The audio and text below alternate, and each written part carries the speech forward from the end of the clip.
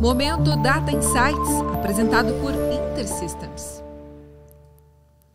Esse é o momento Data Insights oferecido pela InterSystems e eu estou com Aspen Anderson, que é vice-presidente de Gente e Tecnologia da Vibra Energia.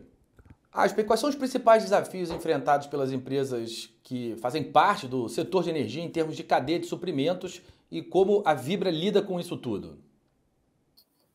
Bom, André, primeiro agradecer aí o convite para participar desse mais esse momento, né, com vocês. É sempre bom quando a gente compartilha e a gente aprende bastante também com, com vocês.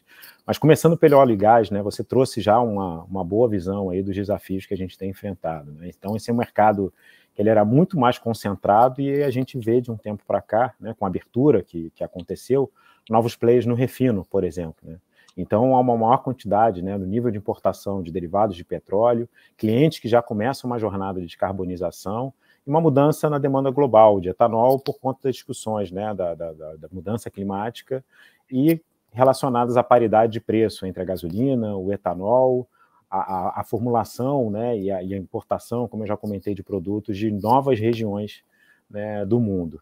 Além disso, a gente tem uma mudança na dinâmica né, da aquisição de biodiesel para adicionar o diesel, a gente está acompanhando as mudanças né, do aumento de percentual de biodiesel no diesel, aquisição de CBIOS pelas distribuidoras de combustíveis fósseis, né, que tem uma meta estabelecida pela ANP, calculada pela ANP, com base no, no, no volume que é comercializado a cada ano. A gente tem né, o movimento das guerras que estão acontecendo globalmente, a entrada do diesel russo no Brasil, e tudo isso exigiu uma adaptação muito rápida do nosso segmento. Né. E quando a gente amplia essa visão da energia, já comentei do óleo e gás, a gente está falando agora de uma atuação que também envolve outras formas de energia, energia elétrica, por exemplo, a gente começa a ver uma configuração de uma nova arena competitiva. Né? A gente está também no, no meio da discussão Daqui a pouco vai chegar né, a regulamentação da abertura completa do Mercado Livre. A gente já teve esse ano a entrada de novos clientes né, que podem comprar energia, escolher a fonte da energia. A Vibra fez movimentos né, recentemente também de aquisição de 50% da Comerc, só para dar um exemplo, para começar também a, a, a ampliar esse portfólio de fornecimento de energia.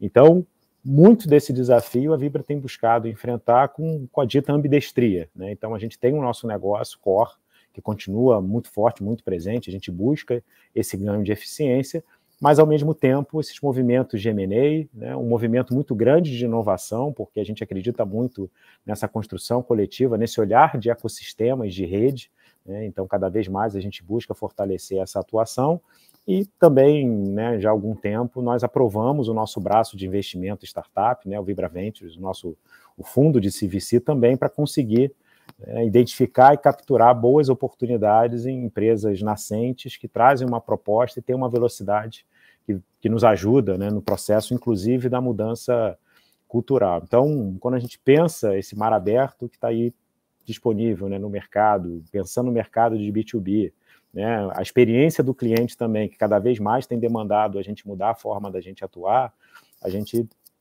tem alguns movimentos e citaria aqui talvez o caso da SD, que é uma empresa que a gente adquiriu participação via nosso fundo, em que ela ajuda os clientes nesse processo de descarbonização. Momento Data Insights, apresentado por InterSystems.